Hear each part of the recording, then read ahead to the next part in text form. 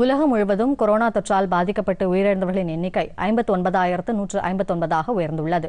இன்று காலை நிலவரப்படி உலகின் பல்வேறு நாடுகளிலும் இந்த தொற்றால் பாதிக்கப்பட்டோர் எண்ணிக்கை பத்து லட்சத்து தொன்னூற்றி எட்டாயிரத்தை கடந்துள்ளது. இவர்களில் இரண்டு லட்சத்து இருபத்தி எட்டாயிரத்து தொள்ளாயிரத்து இருபத்தி இரண்டு பேர் குணமடைந்துள்ளனர்.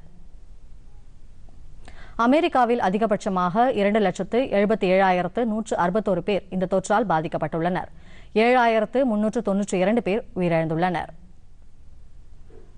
இத்தாலியில் அதிகபட்சமாக பதினான்காயிரத்து அறுநூற்று எண்பத்தோரு பேர் உயிரிழந்துள்ளனர். அந்நாட்டில் ஒரு லட்சத்து பத்தொன்பதாயிரத்து எண்ணூற்று இருபத்தி ஏழு பேருக்கு இந்த தொற்று உறுதி செய்யப்பட்டுள்ளது. ஸ்பெயினில் பதினோராயிரத்து நூற்று தொன்னூற்றி எட்டு பேர் உயிரிழந்துள்ளனர். ஒரு லட்சத்து பத்தொன்பதாயிரத்து நூற்று தொன்னூற்றி ஒன்பது பேருக்கு கோவிட் பத்தொன்பது தொற்று உறுதி செய்யப்பட்டுள்ளது. ஜெர்மனியில் தொன்னூற்றோராயிரத்து நூற்று ஐம்பத்தி ஒன்பது பேருக்கு வைரஸ் தொற்று உறுதி செய்யப்பட்டுள்ளது.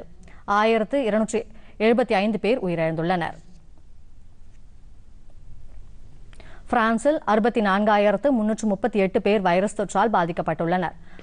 ஆறாயிரத்து ஐநூற்று ஏழு பேர் வைரஸ் தொற்றால் உயிரிழந்துள்ளனர். ஈரானில் மூன்றாயிரத்து இருநூற்று தொன்னூற்று நான்கு பேர் உயிரிழந்துள்ளனர். ஐம்பத்தி மூன்றாயிரத்து நூற்று எண்பத்தி மூன்று பேர் நோய் தொற்று உறுதி செய்யப்பட்டு சிகிச்சை பெற்று வருகின்றனர். இங்கிலாந்தில் மூன்றாயிரத்து அறுநூற்று ஐந்து பேர் கோவிட் பத்தொன்பது தொற்று காரணமாக உயிரிழந்துள்ளனர். முப்பத்தி எட்டாயிரத்து நூற்று அறுபத்தி எட்டு பேருக்கு பாதிப்பு கண்டறியப்பட்டு சிகிச்சை அளிக்கப்பட்டு வருகிறது. பொதிகை செய்திகளை யூடியூபில் தமிழ் நியூஸ் தூர்தர்ஷன் என்ற சேனலிலும் ட்விட்டரில் Tamil news Doordarshan at DD news Chennai என்ற பக்கத்திலும் காணலாம்.